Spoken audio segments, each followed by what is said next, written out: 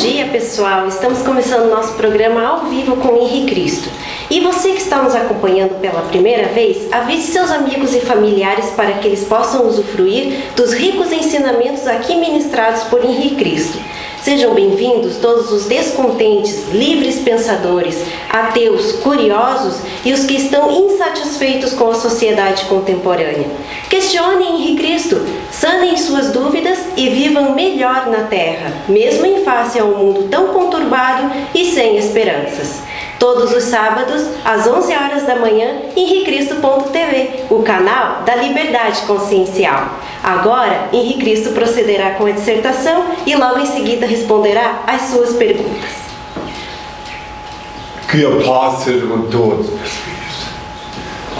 No intuito de evitar as repetitivas indagações, as repetitivas e inoportunas indagações, meu Pai Senhor Deus determinou que após invocá-lo concedendo a bênção, eu proceda com a dissertação, antes de responder qualquer nova questão. O Pai, eterno e inefável, Deus infalível, Criador do Universo, das culminâncias do Teu reino, do trono do Teu poder, do alto Teus olhos temíveis tudo descobrem, tudo veem. Abençoe Teus filhos com saúde, luz e justiça, porque Tua é toda glória para todo sempre, ó Pai. Agora, meus filhos, que ouvis falar de guerras, rumores de guerras, reino contra reino, nação contra nação, tempestades, terremotos, inundações, pestilências, fomes. Conscientizai-vos, é apenas o princípio das dores que anunciei para anunciar no meu retorno. Eu sou emissário do Pai. Reconheço vosso direito de pensar e dizer o que quiserdes, desde que me respeiteis o direito e dever de esclarecer quem sou. Não escolhi ser Cristo, não posso vos obrigar a saber quem sou, mas isso não altera a minha realidade. Pensais que é fácil, obedecendo a meu pai, andar indumentar assim, os ignorantes zombando de mim? Ainda que os malignos condenaram Galileu, a terra continuou gravitando em torno do sol. O sol brilha, e mesmo que todos duvidassem, ele não deixaria de ser sol. Assim também, ainda que a maioria dos terráqueos não creiam que sou Cristo, continua sendo o mesmo que crucificaram. Não me é facultado abrir a cabeça do nécio com um serrote e introduzir-lhe um bilhetinho dizendo acorda-te, ignorante, desperta-te. Sou Henrique Cristo, filho do homem. Somente o demônio. Herodes, possuído pelo demônio, pediu e exige milagres. O maligno disse enquanto eu jejuava dois mil anos: Se és o filho de Deus, transforma estas pedras em pão. Ao que lhe respondi: Nem só de pão vive o homem. Em verdade, em verdade vos digo: eu não preciso provar nada a ninguém, porque o óbvio é ululante e não carece de provas. Vós, meus filhos, é que necessitais provar que sois dignos de meu Pai, Supremo Criador, único ser incriado, único eterno, único ser digno de adoração e veneração, onipresente, onisciente, onipotente, único Senhor do universo. Lembrai-vos que eu adverti: orai e vigiai que ninguém vos engane, porque muitos virão em meu nome. Mateus 24, versículos 5 e 24. E os lobos em pele de ovelha vieram em meu nome antigo Jesus. Mateus 7, versículo 15. Enganaram, fizeram prodígios e usaram meu nome antigo e obsoleto Jesus construíram, compraram emissoras de rádio e televisão e com o fruto da delitosa chantagem do dízimo. E justo para me distinguir deles, meu pai me reenviou com um nome novo, Imre. Apocalipse 3, versículo 12. Imre é o nome que eu paguei com meu sangue na cruz. I-N-R-I. Imre o nome que Pilatos escreveu acima de minha cabeça quando eu agonizava na cruz, quando cuspiam no meu rosto, quando me humilhavam, quando se cumpriam nas escrituras. Imre é o nome que custou o preço do sangue, guardai-o em vossas cabeças e sereis fortes e felizes, meus filhos. Meu coração bate forte de amor por todos vós. Eu sou o libertador voltei a este mundo para libertar o meu povo dos falsos religiosos, dos grilhões da idolatria, da fantasia e da mentira. Amo a liberdade, por isso eu deixo livres os seres que amo. Se voltam, é porque me reconheceram e são meus filhos, dignos de meu Pai Senhor e Deus. Se não voltam, é porque jamais tiveram parte comigo. Se vedes em mim alguma coisa, ou algo aparentemente faltoso é injustificável, o erro não está em mim. É sim na maldosa ótica de vossa visão. Em mim não pode haver erro, porque sou puro e vim sem livre-arbítrio a este mundo só para executar a vontade do Ser Supremo e Perfeito que me reenviou. E quando osai julgar-me, estarei sendo julgados por Ele. Benditos são os olhos que me veem e veem quem sou. Benditos são os ouvidos que me ouvem e me reconhecem pela minha voz. Bem-aventurados sois vós, vós que me escutais, porque vos falo que eu escuto do meu Pai, que é em mim, que a paz seja com todos os filhos. Que venham as perguntas. Vamos à primeira pergunta, que é de Francis, Itajubá, Minas Gerais. Quando morrermos e deixarmos o nosso corpo, estaremos conscientes de quem somos e para onde vamos? Reconheceremos as pessoas de nossa família que já partiram antes de nós? Não, meu filho. O Senhor misericordioso nos concedeu essa graça de ficar sem a memória do passado, até para não odiar os desafetos e não tampouco assumir débito karmático dos parentes. Então ele nos dá a ocasião de começar uma nova vida quando nós retornamos à carne, quando reencarnamos. Tem todos a minha paz. Hélio, Curitiba. A maioria vive agitada, ansiosa no futuro ou então triste no passado. Como vivermos no presente? Invocar no Pai Celeste, sempre em harmonia com Ele, estabelecendo uma simbiose com Ele. Cada vez que você tiver qualquer motivo para tristeza, lembra-te dele.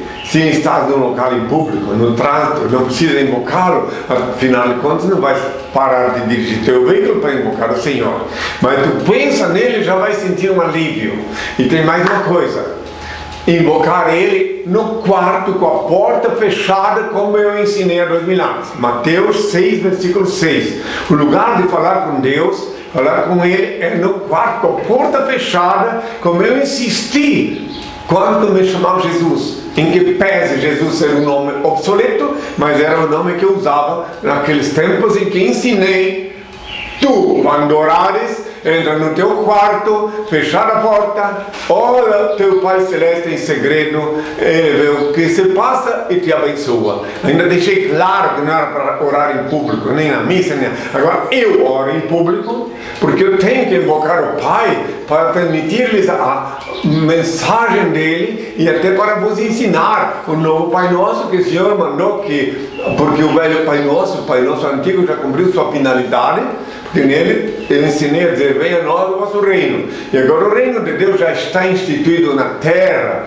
formalizado pelas SUS, desde 28 de fevereiro de 82. Fazem 30 anos, comemoramos 30 anos agora. E a série é aqui em Brasília, na Nova Jerusalém, no Apocalipse 21. Então, orar no quarto com a porta fechada. O reino de Deus está tendo sucursal espalhada por todo o planeta, porque cada casa em que alguém aprende a orar no quarto com a porta fechada, como ensinei em Mateus 6, versículo 6, se torna uma sucursal do reino de Deus. Mesmo que o, o, o Filho de Deus que aprende a orar não possa vir aqui na série, mas a casa dele vai virar um ambiente abençoado. O quarto dele é um ambiente onde ele estabeleceu a simbiose com o Pai. Tenho todos a minha paz. Lucas, Canoas, Rio Grande do Sul. Bom dia, Henri. Temos um destino pré-estabelecido? Se sim, podemos usar do livre-arbítrio para mudar esse destino? A palavra destino já define tudo. No bojo da pergunta está a resposta. Se desse para mudar, então não seria destino.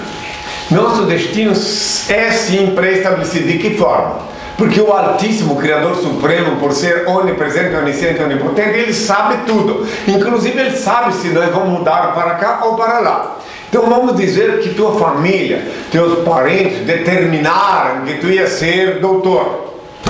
E então parece que este era o teu destino, aparentemente. Mas dentro de ti Tu tens uma necessidade, uma imperiosidade, uma vocação, um anelo, um anseio de fazer algo diferente do que aquilo que a tua família pensava que era o teu destino, que ela tinha programado para ti. Daí tu pegas e aparentemente mudas teu destino. E vais, em vez de ser doutor, tu vai ser artista, ou vai ser empresário, ou vai ser negociante, ou até peregrino. Mas daí não é que tu mudaste o teu destino, e sim que a tua família tinha um plano de vida para ti. E que todos pensavam que aquele seria o teu destino, porque teus parentes diziam assim: ah, mas olha só, quando ele crescer, ele vai fazer igual o pai, ele vai ser dentista, ele vai ser médico. Só que a mão da divina providência, a liberdade consciencial, o teu karma, juntando tudo isso, propiciaram te optar. Aí é a hora que se fala em livre-arbítrio, que se pensa ser livre-arbítrio, mas não. É a conspiração do cosmos para que tu sigas o teu destino. Que aí, aí, aí a palavra de destino não é maculada, ela não é diluída, ela não é. Não, não perde o seu valor, ela continua em vigor em que pese toda a tua parentela pensar que o teu destino era aquele, mas não, o teu destino é esse. Assim como tem discípulos que tinham sido programados para viver a vidinha deles, os parentes, aquela coisa toda.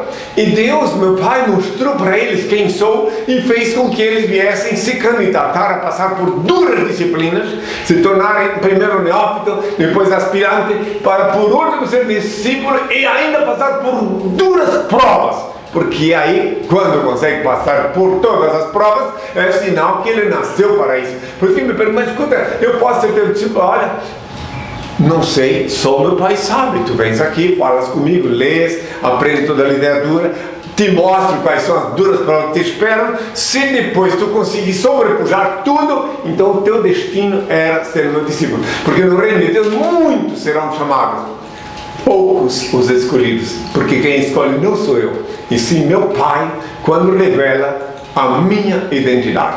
Tenho todos a minha paz. João Canário. Henrique, pode falar um pouco sobre o versículo que diz: Sereis odiados por causa do meu nome? Mateus 10, 22. Isso está acontecendo todos os dias. É, tu mesmo, João Canário, segundo me consta, já não é a primeira vez que ele pergunta, ele mora ali lá no Portugal. Fale no teu ambiente, mas meu nome que eu me referi é o meu nome atual. É, porque o nome de Jesus já está obsoleto. Sereis odiado por causa do meu nome. Fala lá no teu ambiente familiar, se quiser fazer um teste, que tu estás me escutando aqui para tu ver como sai fogo de ódio dos olhos dos teus conhecidos e parentes. É isso que eu quis dizer. Tu fala que tu estás me seguindo, me ouvindo, aí aqueles que são escravos das trevas, os alienados, os encabrestados, olham com muito ódio para quem diz que está me seguindo. É isso, é isso que eu quis dizer, Adoniano. Sereis odiado por causa, porque meu novo nome, inclusive até para que eu assumisse, fique sabendo, João Canário, aqui na terra de Santa Cruz, aqui no Brasil, eu tive que sobrepujar um processo de falsidade ideológica que se arrastou 15 anos na Justiça Federal para depois o Poder Judiciário reconhecer o meu direito de usar o meu nome, imagine, o meu nome. As vozes das trevas dizem, não pode, não pode, ir quer dizer Jesus Nazareno Rei do Deus, não pode, não pode. Até que montaram um processo de falsidade ideológica aqui no Brasil, na Justiça Federal, que se arrastou 15 anos para então, finalmente, no ano 2000, no dia 24 de outubro do ano 2000, o Egresso Tribunal de Justiça finalmente reconheceu oficialmente que o meu nome é Henrique Cristo Sim. Pronto, acabou. Então, só para tu ter uma ideia, respondendo a tua pergunta, como se cumpre rigorosamente tudo que eu falei, incluindo nesse assunto de odiar o meu nome novo, que está em Apocalipse 3, versículo 12, que eu viria com o nome novo. Deste assunto também tem a ver com toda a reprovação que eu profetizei quando me chamava Jesus. Que eu disse que antes do dia do Senhor, antes de ser reconhecido pela humanidade, eu seria rejeitado por minha geração. Lucas capítulo 17, versículo 25 a 35, onde está escrito bem claro que assim como foi nos tempos de Noé, comiam, bebiam, davam-se núpcias, casavam-se, edificavam, até o dia em que não entrou na arca e veio dilúvio eh, consumir a todos, assim será o dia que o Filho do Homem se manifestar. Está bem claro que eu falei do tempo atual. Agora, os evangélicos, os fariseus que se dizem crentes, eles dizem que não, isso, já aconteceu. Se eles pudessem, eles comiam nessa fatia. A Bíblia onde fala que de futuro, onde fala assim será quando vier o Filho do Homem. Estava falando de futuro e não de passado. Leia esse texto, Lucas 17, versículo 25 a 35, para ver como é interessante, como estão se odiando qualquer pessoa que fala que, que ah, eu, eu conheço ele. Bom, já, já demônios, até que chega um momento que eles vão ter vergonha de dizer que não me conhecem. Vão ter vergonha de falar no meu nome antigo, obsoleto Jesus. E isso está acontecendo. Meu pai disse que está chegando a hora que as pessoas vão ter vergonha, medo até, de dizer que ainda duvida que meu nome novo é Henry. Isso meu pai disse e eu sei que vai se cumprir rigorosamente em toda a dimensão terrestre. Tenho toda a minha paz, você. Nessa hora que eu falo essas coisas, imagina os donos do cabresto como ficam desesperados, imagina, olha só, já pensou que o dia que toda a humanidade souber que o nome dele é Inri, toda a humanidade vai ler no Apocalipse 3, versículo 12, que o nome dele é Inri, que, o novo nome, que ele vinha com o nome novo, como vamos ficar nós para manter o cabresto apertado? Como vamos continuar acochando o cabresto das nossas ovelhas? Estão desesperados. Quando eles vêm falar, ficam desesperados, eles vão lá na Bíblia veem que tudo que eu estou falando está lá previsto. E daí eles pensam, e agora? Como é que fica? Como é que fica a nossa arapuca? Como é que fica os nossos escravos quando eles descobrirem que o libertador voltou?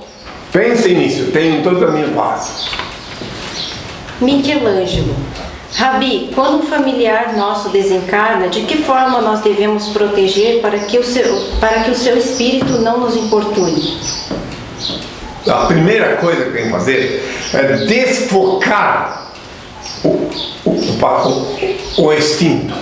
Porque se a, a, partir do momento que tu tens receio que ele pode te, te por, perturbar, então é sinal que ele não era um espírito do bem. Que os espíritos do bem, quando desencarnam, eles vão para o destino deles, para o além. E só fica aqui na terra as almas plenadas aquelas criaturas que procederam muito mal contra a lei, que fizeram muito mal aqui na terra, daí quando eles partem, eles não conseguem subir por causa do peso dos pecados. Eles ficam aqui perturbando os parentes. Quem eles podem? Porque eles carecem de ter um corpo para dividir o peso dos pecados que eles adquiriram perante a lei do carro. Então o que tem que fazer? Primeiro, pedir ao Pai, uma única vez, que ele se vai em paz. Não fique rezando por ele, que daí ele pega esse canal para vir te perturbar. Então tem uma vez o Pai, conforme já te ensinei, no quarto, a porta fechada, ó oh, Senhor, que se for a tua vontade, permita que essa alma, que esse meu parente lá, eh, se vá em paz. Pronto. Aí depois disso, se ele continuar te azucrinando, então o que tu faz? Primeiro tu muda os móveis do lugar onde ele dormia, e depois tu pega as roupas dele que ele usava. Eu estou falando de um espírito que vem te perturbar. Aí tu pega, faz uma doação das roupas dele que ficaram ali para uma instituição de caridade. Aí quem vai usar não tem problema, ninguém sabe quem é. Porque o doutor está na ligação da consciência, está conscientizado que aquela roupa era do espírito. E daí vai seguir em frente e tu vais continuar a tua vida. Agora, se tu ficar pensando, ah, mas meu irmãozinho, coitadinho, ele era mal, mas era bom, aí ele pega esse canal para vir te perdoar. Respondida essa tua pergunta, espero que tenhas que o meu Pai conceda-te a graça de assimilar o significado de minhas palavras. Tenho toda a minha paz. Fabiana, Curitiba. Rabi, desde que fui até aí lhe conhecer, minha vida mudou para melhor. Obrigado por tudo. Então não faz uma pergunta. Aquela que veio, ah, eu entendi que Curitiba, olha, eu estava lá em Curitiba e agora mais pessoas vêm me procurar em Curitiba do que quando eu estava lá. Olha só como as coisas acontecem que eu deixei de ser prata da casa. Daí meus filhinhos de lá que não podiam vir me ver, porque às vezes né, era muito comprometedor socialmente, eles vêm me ver aqui. Sejam muito bem-vindos, porque eu vos amo sempre amei Curitiba, desde que meu pai disse que eu tinha que sediar o reino dele lá, até transferir a sede para Nova Jerusalém, aqui de Brasília, né? Tenho toda a minha paz, meus filhos. Michel, São Paulo, capital. Henry, se um animal que ama muito seu dono desencarna, seu espírito pode continuar perto do dono como se estivesse vivo? De novo o problema da invocação. Animal não tem alma, tem espírito. Então se tu ficas invocando o pobre animal, ele fica detido ali na mara por conta da tua evocação, porque meu pai disse que o homem dominará sobre os animais, daí tu fica invocando ele, impedindo ele de seguir adiante, porque se tu invoca ele é pecado sim, porque o espírito do animal, que não tem alma, é só espírito, ele volta para a origem, ele não tem pecado, ele não deve vida karmática. Então ele volta para a origem que é o cosmos, que é Deus, que é o infinito. E se tu ficar atormentando ele, invocando, invocando, tu vai acabar ficando muito triste. E não vai nem sequer te lembrar que poderia ser um outro cachorro igualzinho a ele, e que podias até educar ele também. Então deixa ele seguir em paz, o espírito que vai de volta para a origem, que quem anima todas as criaturas que se movem sobre a terra é o cosmos, é o meu Pai, o Supremo Criador. É esse que anima todos, todos que se movem sobre a terra. Então tu deixa ele seguir e pega.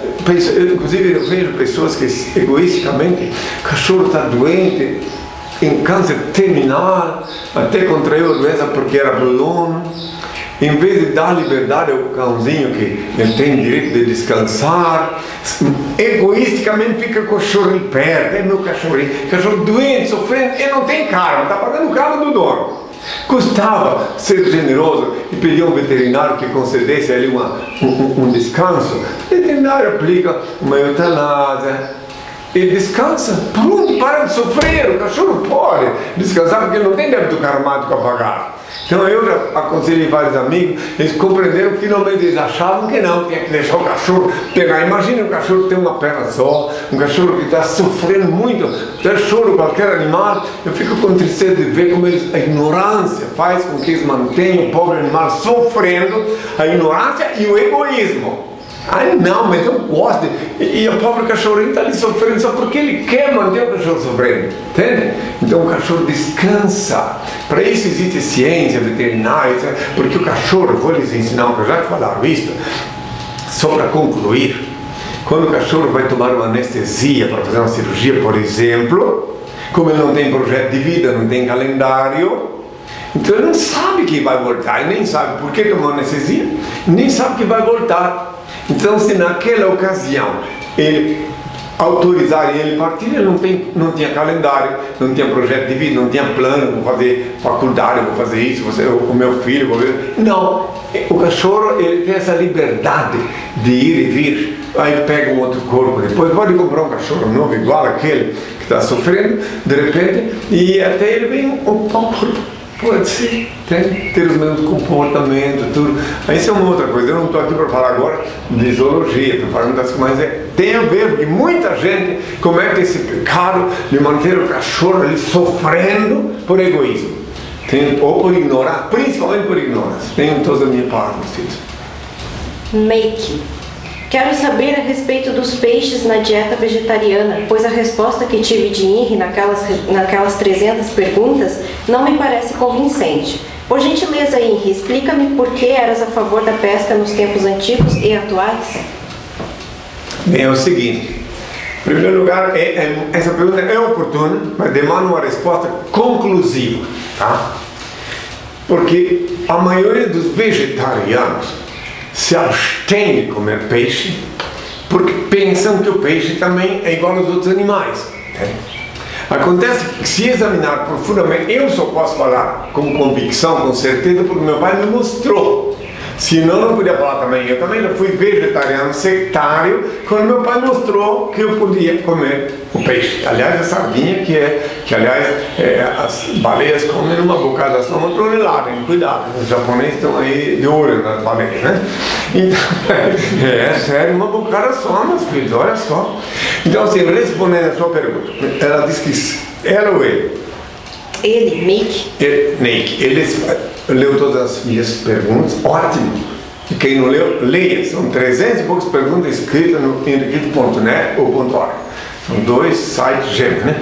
Então, se você já leu tudo e só enroscou isso aí, eu vou explicar como é e por que, que meu pai me mostrou que podemos comer o peixe sim. Aliás, uma, uma pergunta importantíssima, que vai ser boa para todos que me ouvem e queiram ser vegetariano.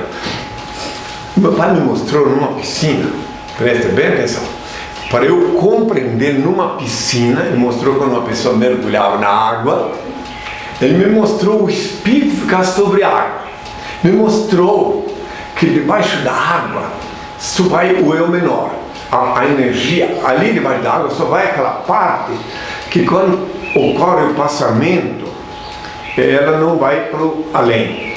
A energia que concerne ao espírito fica em cima da água. Por este motivo, se o indivíduo fica mais de dois minutos debaixo da água, o sangue coagula, porque é no sangue que mora o espírito. Tem tudo a ver com oxigênio. Cada um vai estudar melhor essa coisa depois das minhas explicações.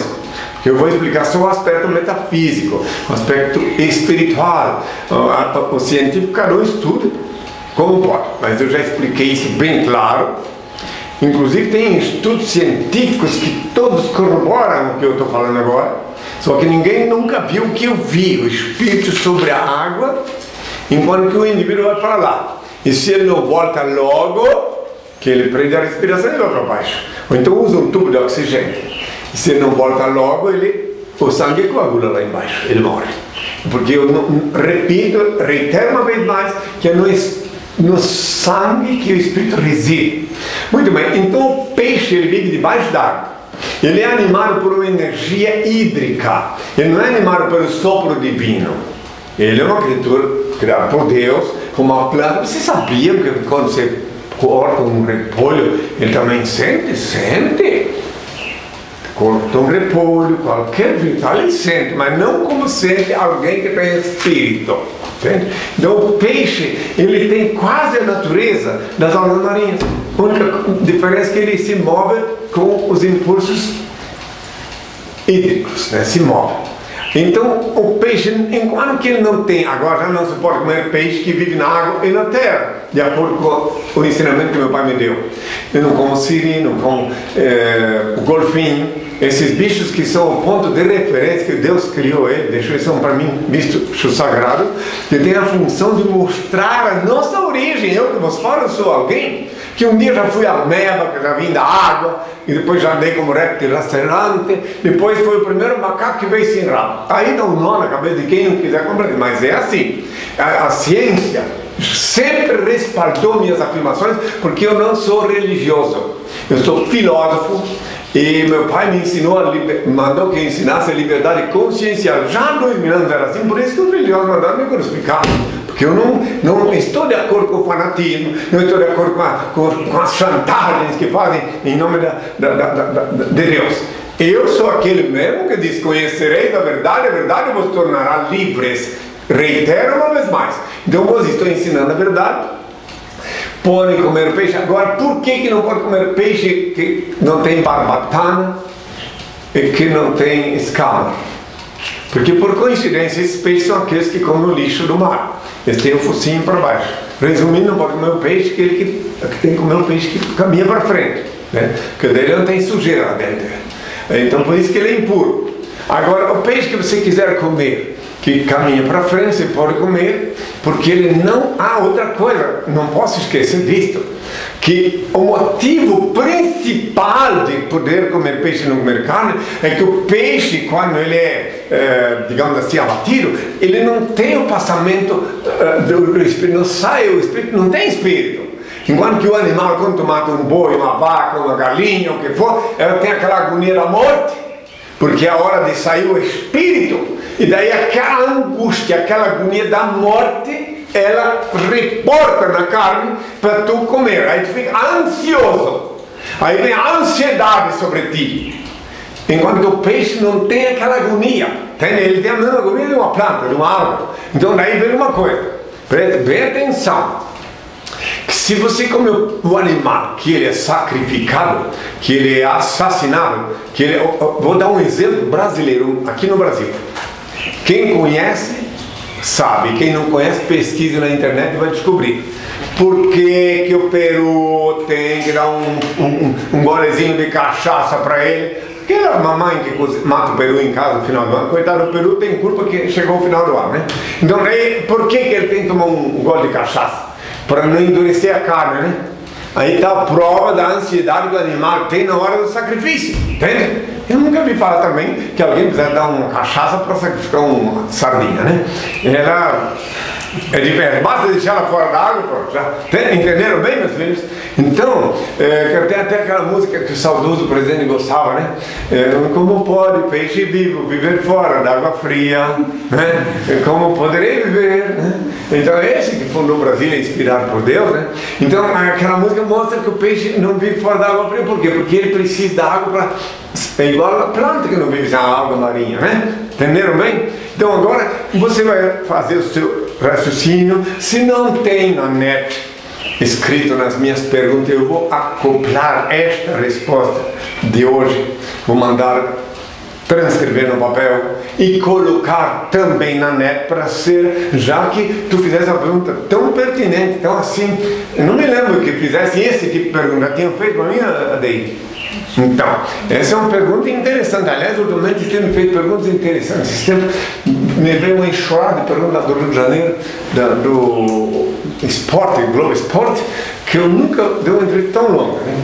Daqui a pouco vão começar a fazer perguntas inteligentes e eu terei muito gosto em responder, porque é para isso que estou aqui. E aqueles que estavam com dúvidas sobre comer peixe, Pode compreender. Ah, outra coisa, não, camarão não recomendo muito, não, porque ele tem um, saboroso, né?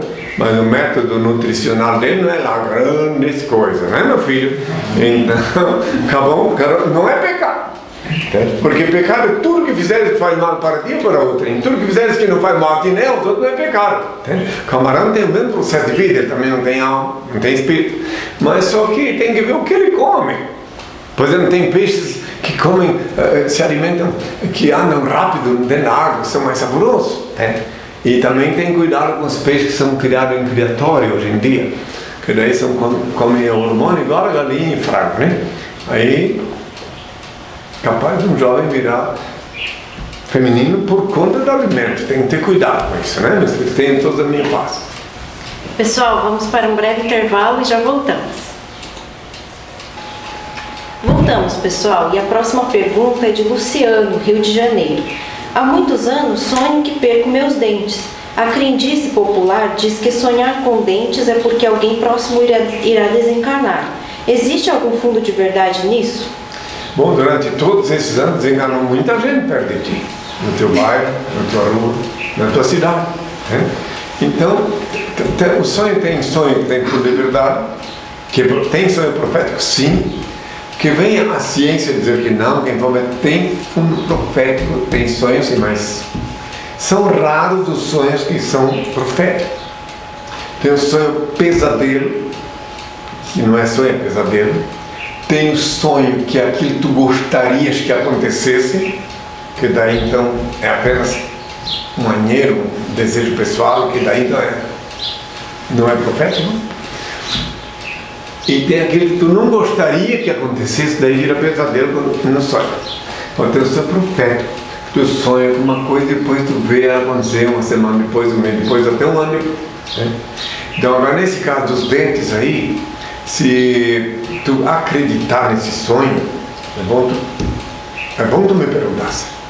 Para te imunizar contra a piorreia. Né? Então tu trata de desprogramar esse sonho, desfocar esse sonho, que ele que sonha 20, 30, 50 vezes, mas tu anula ele cada vez que tu sonhar, te ajoelhando do Senhor no teu quarto com a porta fechada, tu ora ao Pai, ó oh, Pai bondoso e perfeito, tu que me dá esse corpo que eu uso, os meus dentes, eu vou cuidar bem dos meus dentes, vou limpar ele bem, vou ser bem higiênico e todo eu considero que eu sempre possa desfrutar deles pronto. E tu faz uma boa escovação de dente, mas bem escovado, usa fio dental, tudo, para não perder. Se não, podes perder sim, mas lembra-te disso, invoca o Pai que Ele vai te dar poder, vai te dar inspiração para usar bem a escova, né? Não tenha preguiça, né? E também É isso, tenham toda a minha paz. Donald, Boa Vista. Por que a Bíblia nunca citou os dinossauros como parte integrante da história da humanidade? Adão foi um ser pré-histórico ou apenas uma metáfora da Bíblia? A Bíblia é um livro de letras mortas repleto de lendas, fábulas, metáforas, mas no interior dela está, no bujo dela está a lei divina, estão os fragmentos da lei divina, e por isso que é necessário, antes de abrir, invocar o Senhor, para que Ele te dê o dom de interpretar cabalisticamente a Bíblia. Senão tu vais ficar um fanático, vai ficar acreditando em, em, sendo sectário como fazem os fariseus, evangélicos, que ficam uh, até cometendo atos uh, delituosos em nome da Bíblia. Então a Bíblia é um livro de letras mortas, repito, e não tem por que estar lá dinossauro, porque eles, como bem diz, são pré-históricos. Existiram antes de ser escrito a Bíblia, antes de Moisés, antes de tudo, para quem quiser dar crédito. Então não tem, como é que Moisés ia escrever que montou num dinossauro se nunca viu? Então, os estudos arqueológicos, estudos científicos, denotam a existência desses animais fantásticos. Mas foi, como diz bem o, o ponto de vista biológico, são pré-histórico. E a Bíblia é uma, uma, um livro de história. Tem lendas, tem fábulas, tem tudo, mas é um livro de história, por isso que o nome dele é História Sagrada. E quando está escrito História Sagrada, parece um absurdo, que tem até lá que Deus se arrependeu de criar o homem e tudo. Por que, que ele permitiu isso? Justamente para que só aqueles que humildemente e depois de invocar ele, fossem ler a Bíblia, soubessem discernir o que é lei e o que é metáfora, o que é fábula. Né? Ali está escrito na Bíblia que Deus se vingou. Imagine, Deus se vingou, mandou matar. Tudo depende da interpretação cabalística. Deus é tão poderoso, tão imensurável, onipresente, onisciente, onipotente, que não precisa jamais se vingar de ninguém.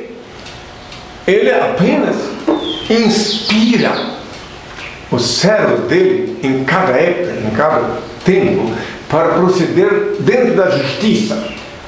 Então é óbvio que se dois exércitos vão se confrontar, tem um deles que vai ter o poder de Deus sobre ele, e o outro não. Mas eu posso citar, já que entramos nessa questão para compreender melhor a Bíblia, que mesmo fora da Bíblia, inúmeras marcas da inspiração divina existe. Vou citar um exemplo, falei de guerra, de exército. Na arte da guerra, escrita por Sun Tzu, chinês que escreveu mais de dois milênios, tem uma passagem na arte da guerra para os intelectuais, os estudiosos que porventura ainda não leram a arte da guerra, um livro muito interessante, muito racional, muito equilibrado, que lá tem uma passagem que o comandante do exército, é, no final de tarde, quando os soldados estavam todos cansados, ele mandou que acampassem num vale e os soldados acamparam já, ufa, chegamos, né? Ergueram barracas, tudo, e está tudo prontinho para o descanso, porque no final de tarde sempre o soldado quer voltar para a caserna, ou se está em guerra, quer voltar para a barraca, enfim, final de tarde ele quer descansar. E daí o comandante no final da tarde, quando todo mundo montadinho, porque até então ele não sabia que tinha que fazer isso, né? Estava todo mundo montadinho. Eu estou falando isso para vocês verem que não é só na Bíblia que tem inspiração de Deus.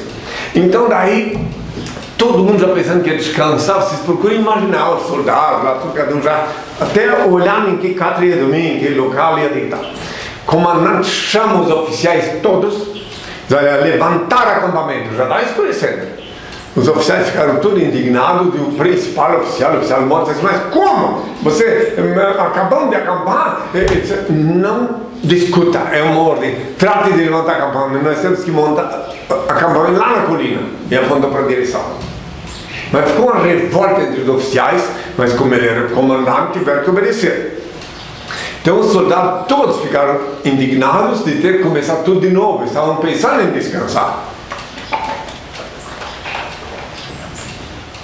Quando chegou lá no, na colina, que estava tudo instalado lá, que já era escuro da noite, veio uma tempestade tão grande, mas tão grande, que aquele vale onde eles estavam acampados ficou tudo sobre água, tudo submerso. Daí aquele comandante, aquele oficial que se revoltara contra o comandante geral e disse, como é que você sabia que isso ia acontecer? Né? Como o comandante geral não sabia como é que sabia que isso ia acontecer, ele pegou e respondeu simplesmente, a próxima vez cumpra as minhas ordens sem discutir, ele só disse. Porque ele também não sabia por que, que ele fez, deu essa ordem, mas ele estava inspirado, né? Então, mesmo, olha bem, é um comandante chinês, isso é um livro Sun Tzu, é um exemplo que eu estou dando para ver como Deus atua, Deus inspira, o Supremo Criador do Universo, que não, não vai pensar que Deus só fica olhando para quem é cristão ou para quem é judeu, não. Deus faz justiça na terra, Ele é Deus de todos os terráqueos de todo, ele é o Senhor, é o Supremo Criador. Esse Deus que eu falo. Não esse Deusinho que tem mãe, esse Deusinho que se, que se pode levar até no banheiro. Né? Não. O Deus que eu estou falando é o Supremo Criador do Universo, o único ser incriado, único eterno, único ser digno de adoração e veneração, onipresente, onisciente, onipotente, único Senhor do Universo, meu Pai, que é vosso Pai, meu Deus, que é vosso Deus, que mesmo que não sabeis, ele é também vosso Pai. Então aí vejam bem uma coisa, meus filhos, que não é só na Bíblia esse comandante, quando ele disse que outra vez cumpra a minha ordem sem discutir, ele não podia dizer por que, que ele estava lá e viu que era obrigado a mudar. Ele recebeu uma inspiração de Deus. E aí com isso ninguém morreu afogado. Imagine de madrugada, ou meia-noite, sei lá que hora, uma enxurrada, todo mundo fica afogado. Tenho todos a minha parte. José Sasso, São José dos Pinhais. Mestre Henrique Cristo, qual foi o objetivo da chamada codificação espírita realizada por Allan Kardec? Pode repetir a pergunta e o nome dele também? José, Tá, por favor. José Sasso, São José dos Pinhais. Mestre Henrique Cristo, qual foi o objetivo da chamada codificação espírita realizada por Allan Kardec? Tá. Antes de responder, quer dizer que se alguém por acaso, ah, tá vendo, Cristo não tossia, meu corpo é de carne, eu tossi sim, e daí? Né? Claro, né? eu vou ficar escondendo minha tosse, né? mas não estou gripado não, graças a Deus, apenas às vezes um ácaro, sei lá. Bom, seguinte, ah, Deus que escreve direito mesmo que por linhas tortas, né? Permitiu que o Allan Kardec existisse, cumpriu uma função muito importante que era reapresentar a reencarnação que fora suprimida por, pelo imperador Justiniano no século VI. Então, na Europa, Deus inspirou Allan Kardec para que ele fosse o apóstolo, o divulgador da reencarnação. Até certa altura, ele estava muito bem. Ele fazia, eh, eh, fez muito bem reacordar, despertar o Ocidente, porque no Oriente continuam os que sabiam, sabem, mas no Ocidente, onde teve uma uma perseguição diabólica, satânica da Inquisição, etc. Então, eles precisavam que Allan Kardec viesse até aqui na América Latina. A maioria das pessoas que sabem da reencarnação, normalmente aqui nesse país continental, sabem através do que ele deixou. Só que como ele é humano, e também tem o orgulho dele, tinha o orgulho dele, e o demônio também sabia como usar o corpo dele, ele também quis inventar um evangelho dele, olha só, usando o termo evangelho, quis também doutrinar da forma dele, essa é a parte dele. A única coisa que vale de Allan Kardec é a parte que ele ensina, que ele explica, que ele ressuscitou a reencarnação que estava proibida na Europa desde Justiniano no século VI. Então agora, quem por os inteligentes, os sábios, os, os buscadores da verdade, ficam com a verdade e não ficam com a alienação. Portanto, que os que seguem a doutrina de Allan Kardec ficam dizendo que Cristo, evolu ah, que Espírito evoluiu na volta da Terra. Porque eles têm medo de ver que eu estou aqui, né? Então, se, se disser que Cristo volta na Terra, o Espírito evoluiu, então já sabem que os, as ovelhas dele vão dizer, mas escuta, então eu quero ir lá no mundo de Cristo. Então eles são obrigados a dizer que não. Que o Espírito evoluiu na volta na Terra, só que eles se esquecem que há dois mil anos eu estive aqui e aparentemente eu era um Espírito evoluído. É, cara, sabe, abre, abre, abre alguma porta aí para entrar um pouco de ar mais, porque vem ácaro. E ali, essa aí não dá para abrir essa ali também? Tem um própolis aí. Hã? Tem um. Ah, então dá, dá. Logo quando eu vou falar uma coisa tão séria como esta, vem. Se a cinegrafista tivesse colaborado, até ajudava, mas não. Não fica estático assim. Então tá, voltando. Né? Assim. É, mas como eu estava falando, voltando, então o problema todo está que o ser humano em geral tem tendência a ser escravo de alguém, isso é triste. Só aqueles que amam a liberdade é que escutam até o que eu falo e fazem um, um juízo. Porque eu sou libertador, sou filósofo, ensino a liberdade consciencial. É uma filosofia para mim, filosofia para mim, a mais importante. Então, no caso dos seguidores de Kardec, que aqui no Brasil se dizem espíritas, a maioria deles, kardecistas, eles podem ver um monte de coisas. Quando chega na hora de me ver, são poucos os que conseguem ver mas a primeira coisa que eles fazem, eu já, fui, já tive experiência disso, muitas experiências aqui no Brasil. Então eles vêm na minha presença, me questionam, e questionam, e questionam. Aí quando estão satisfeitos, sabe o que eles fazem? Exatamente igual aquele que eu repreendi há dois mil anos. Eu disse, hipócrita! Arranca a primeira trave do teu olho, verás, para depois remover o cisco do olho do teu irmão.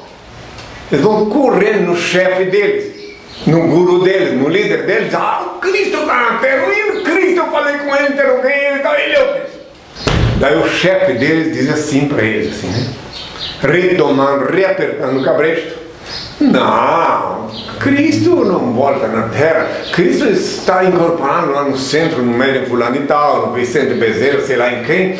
Cristo não volta na terra de carne, você não vai pisar mais na terra. Aí eles pegam o Paulo se agarram no Paulo, que é um mentiroso, que confessa em Romanos 3, versículo 7 que ele mente, ele confessa. Aí se agarram no Paulo e dizem, não, Paulo disse que Cristo não vai voltar na terra. E pronto. Aí os encabrestados, ah é, que pena, ficam até com raiva de mim, né? Porque quando ele vem na minha presença e me questiona, eu respondo, respondo, respondo, explico tudo. Daí eles ficam felizes e vão querer tirar o, a venda dos olhos do, do lobo com pele de ovelha que está manipulando-os, só que não sabem que ele sabe, o dono do cabresto sabe que eu sou quem sou. Só que ele tem medo de mim, tem medo de dizer que eu sou quem sou, porque se disser, é óbvio que a ovelha vai querer ficar livre do cabresto, é óbvio. É óbvio. Aí eu vou ensinar a entrar no quarto, a porta fechada, ele invocar diretamente do Pai, sem ter que, inclusive, é muito perigoso ir em centro espírita, porque você vai lá, por curiosidade, sai lá cavalgadura. Tem espíritos lá de plantão, por isso o nome é centro espírita. Tem um monte de alma penada lá de plantão, esperando um corpo para se apossar, com dívida karmática. Então o que, que acontece? E não dá para eles não podem controlar. Então o que, que acontece? É melhor sempre invocar o Pai, e nunca acreditar, nunca se submeter a homem nenhum no que concerne as coisas do espírito. Porque o homem, o ser humano, é invejoso, ambicioso, egoísta e quer sempre, sempre acaba querendo te manter encabeçado. Então a única solução, se quiseres compreender, Allan Kardec cumpriu a missão dele, mas ele também era homem. Né? Então ele, ele podia ter escrito o que escreveu, mas não escrever comentei o Evangelho dos Espíritos, o livro dos ali ele começou a encabrestar. E a linguagem comprida que é para a pessoa ter que ler, ler, ler quando aberta. É igual a Rosa mesma coisa. Os livros da Rosa são cansativos que é para a pessoa que passa por isso aí, pronto, ela esquece até onde veio. Ela, é uma lavagem, uma verdadeira, não é lavagem cerebral, e sim uma imundícia, um, um, uma, uma invasão cerebral, uma enxurrada de, de mentira, de fantasia no cérebro. Daí pronto, quem quiser compreender, compreende. Ninguém é obrigado a crer. Por isso que eu disse há dois mil anos, muitos são chamados de poucos escolhidos. Porque a pessoa me faz uma pergunta, mas eu tenho experiência. Ah, respondendo finalmente, se ele quiser, lá na minha página onde eu falo sobre os espíritas, onde eu provo isso que eu estou falando. Onde um espírita pergunta, um espírita graduado, para um, uma ovelha sobre mim, e, ao, e, o, o graduado diz assim, com aquela voz bem, bem, sabe aquela voz macia deles? que não, que ele, é, é, nada, ninguém volta na terra espírito evoluído, e quanto a esse Cristo não tem nada a declarar gostaria de fazer, sabe o que eu, ainda vai acontecer, eu vou querer um dia pegar eles, os donos do cabresto, porque os que se dizem evangélicos, pastores, já peguei vários, padre também. Você, nenhum deles tem coragem de vir num encontro comigo na televisão, assim, sabe? Vocês podem imaginar um encontro meu com um Divaldo Franco, por exemplo, em São Paulo? Hã? Consegue imaginar? Não tem coragem não tem coragem, entende? Então fala, ou, ah, ou então eu encontro meu com, com, como é o nome daquele vigaristinha que pegou o lugar do Azeiro Saru, como é? é Paiva Neto. Queria ver, encontro com eles assim na minha frente, na televisão. Calmamente, tem que ficar tudo calmo, não pode ficar bravo. Já ficam bravos só me ver. Então, não tem, eu sei que não tenho, eu não tenho coragem. Então, toda questão de coragem. Se a pessoa está com a verdade, ela tem coragem. Ela não tem medo. O medo é próprio de quem está nesse assunto de metafísica, de quem está mentindo. O embusteiro tem medo, muito medo. Esses outros pastores que tem aí, têm medo de encarar a verdade, meus filhos, que depois eles sabem como é que fica com as ovelhas dele depois que sai de perto de mim. Quando as ovelhas percebem que eh, a máscara caiu, porque eu posso tirar a máscara de cada um deles, incluindo todos os donos de cabresto, eh, como é que é, kardecista. Eu vou só concluir minha explicação, porque em Rio de Janeiro, eu vou concluir já que esse assunto é tão sério, mexe com tanta gente. Meu bendito, meu querido bendito filho saudoso Pio Varela, que no Rio de Janeiro tem até foto dele comigo na internet, pode ver até. Eh, foi preso comigo em Belém do Pará. Um, um, era um armário. Até no último momento ele pediu uma bênção antes de partir. Então ele, durante 35 anos, ele foi médium num enorme centro agora de Umbanda, lá em Rio de Janeiro. E ele vinha para mim e dizia assim, pai, me chamava de pai. Até era engraçado, né? Ele no Rio de Janeiro nunca deixou andar, nunca andou do meu lado. Não, que eu prefiro andar nas suas costas, pai. Né? Pode ver a foto dele, não dá para mostrar a foto dele rapidamente, não dá. Bom, então daí ele insistiu tanto que ele queria, porque queria que o chefe do centro espírita dele disse, pai, são 5 mil pessoas que frequentam lá. Eu queria tanto que o pai fosse lá. Tá aí ele? Não? Pode botar o dedo em cima. Bota o dedo Olha, bota o dedo. Aonde? Tem ali, ali de costas. Aí depois você camisa branca. Esse aqui. Isso. Esse aí. Baixo. Esse aí mesmo. Aqui embaixo também? Sim, ó. Aí, alguém que sabe onde é, vai lá beber, mostra. Lá em cima, lá em cima. Olha que bagunça. Mostra. Aqui. Aí, ó. Ah, ah, Tá. E na internet tem a foto dele de frente comigo, indo preso comigo. A Suzana achou. Aí, ó. Pegou de frente. Tá. Daí, ele, que Deus o tem em sua santa paz, foi meu fiel escudeiro no Rio de Janeiro. Então ele disse insistentemente que queria que eu recebesse o chefe do centro espírita. Também, eu não, ele não vai vir, mas se vier, eu recebo. Está no, lá no conjunto Morada do Sol, na casa da minha filha, que hoje é 30 e poucos anos, minha discípula, beberei, e lá eu recebi ele. Depois de várias insistências, não, eu vou, ter, eu vou receber teu chefe. Que 35 anos ele era médium e incorporava Jesus Cristo, Oxalá, né? Daí ele disse que precisava, ele era honesto, honestíssimo que o chefe dele me visse, eu já falei do senhor várias vezes com ele, ele de idade tem 80 anos, o homem tinha na época. Ele vai, ele quer vir sim, mas como ele é muito ocupado, mas ele disse que um dia vai dar certo para. Tá bom, se um dia vier aqui, não, não botar fogo lá no conjunto morado só para quem é carioca, aquele edifício que tem lá na frente do Rio Sul, que passa o elevador por dentro das pedras, morar no bloco G, lá onde tem uma pedrona enorme, lá em cima morava com a minha discípula bebê. Que eu digo, morava quando eu estava no Rio. Né? E daí então ele pegou e disse, tá bem. Aí um dia ele conseguiu, porque o outro percebeu que ele estava irredutível, 35 anos lá dentro daquele centro espírita enorme, e ele conseguiu finalmente convencer o dono do cabresto a vir à minha presença. Que o sonho do Pio Varela era que depois disso o o dono do Cabreza me convidar para vir lá no centro, eu ia falar para 5 mil, um batista. Esse era o sonho do Pivaré. Daí o homem veio.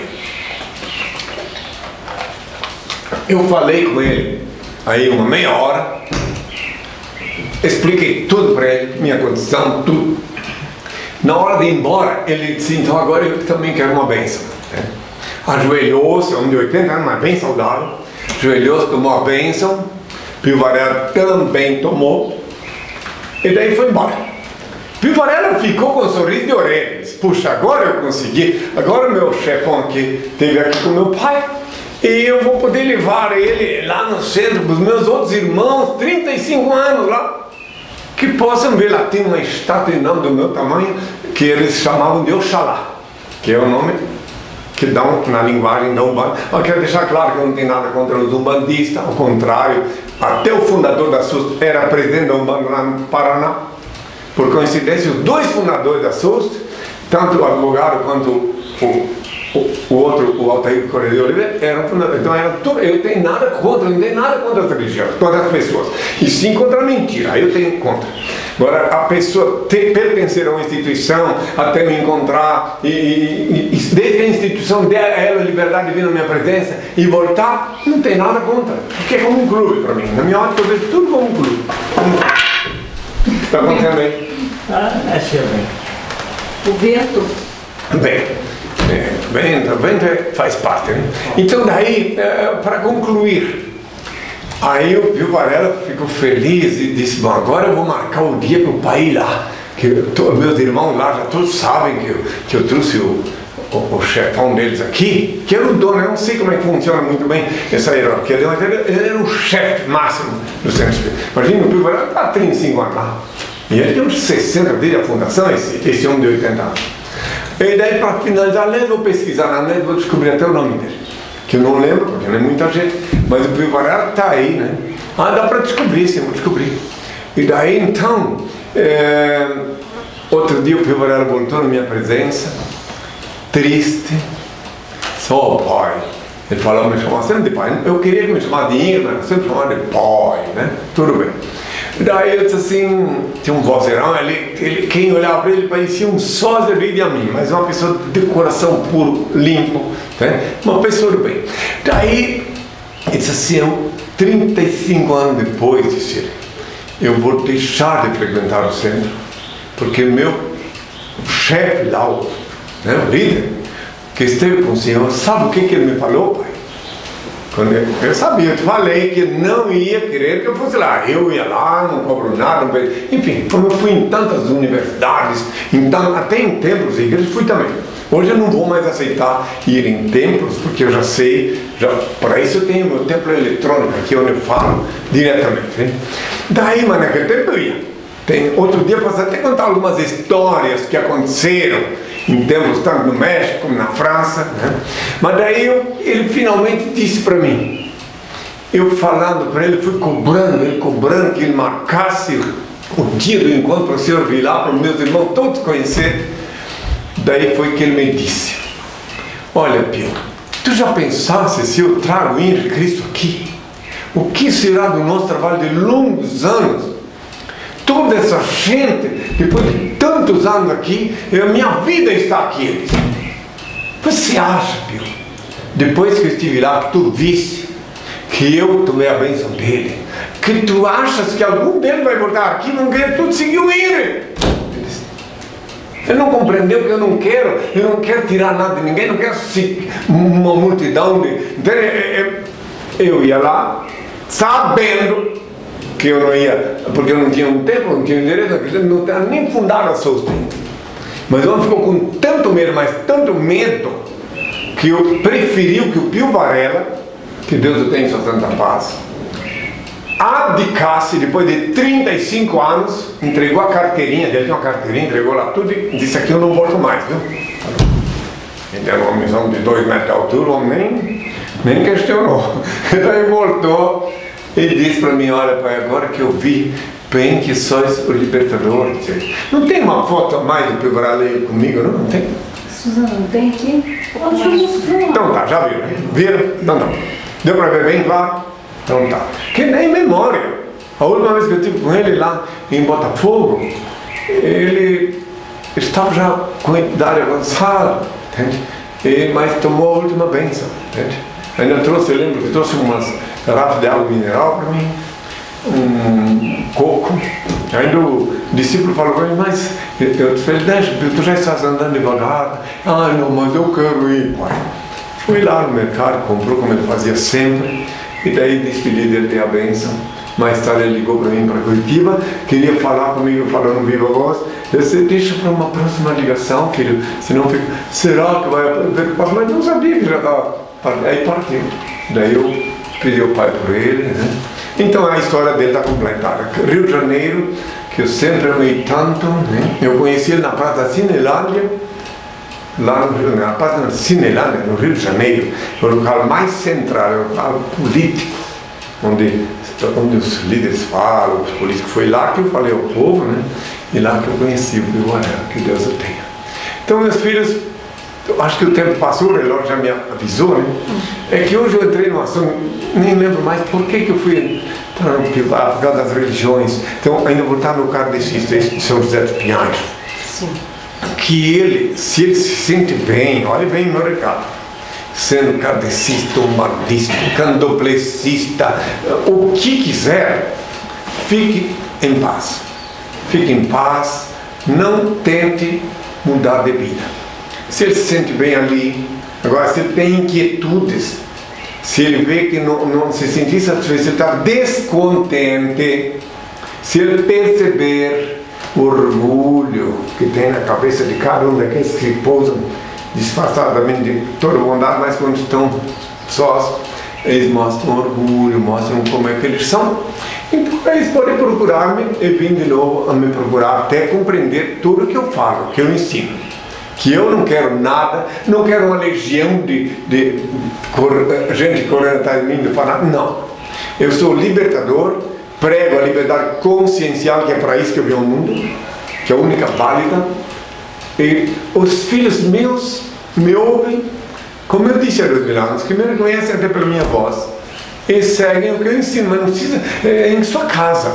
Lembrai-vos sempre, no quarto com a porta fechada Lá que é o lugar de falar ao Senhor, conforme está em Mateus 6, versículo 6. Eu não me canto, enquanto tiver um grupo de pessoas escravo de capricho, eu continuarei dizendo que o lugar de falar com Deus é no quarto com a porta fechada. Pronto. Assim como você não vai se encontrar com a sua mulher eh, na intimidade, perante a assembleia, né? Você vai ter sua intimidade no quarto com a porta fechada. Assim também com o Senhor, que é muito mais importante do que tua mulher, do que teu marido, é o Senhor. Então, é no quarto com a porta fechada, tu vai falar com ele, vai pedir para ele, vai invocar, ele vai te abençoar.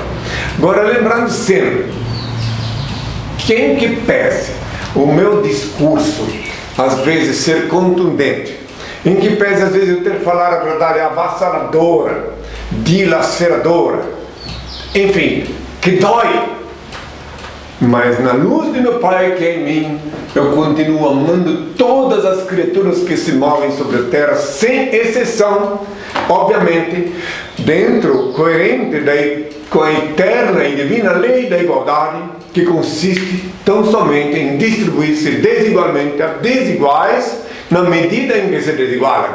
Agora eu vou pedir ao Pai a bênção a todos os que precisam de bênção, não só a companhia dos beneméritos, mas todos os que estão chegando. E quem está chegando agora pode lembrar que vou botar a mão assim e receber e sentir na mão e no corpo inteiro a bênção do Senhor. Ó Pai, eterno e inefável, Deus infalível, Criador do Universo, das culminâncias do teu reino, do trono do teu poder, do alto do qual teus olhos temíveis tudo descobrem, tudo veem. Abençoe teus filhos com saúde, luz e justiça, porque tua é toda glória para todo sempre, ó Pai, que paz seja com todos os meus filhos. Até sábado e até sempre. E até todos os dias que o programa, diariamente, no mesmo horário, só que ao vivo é sábado. Uma excelente semana a todos e até sábado que vem.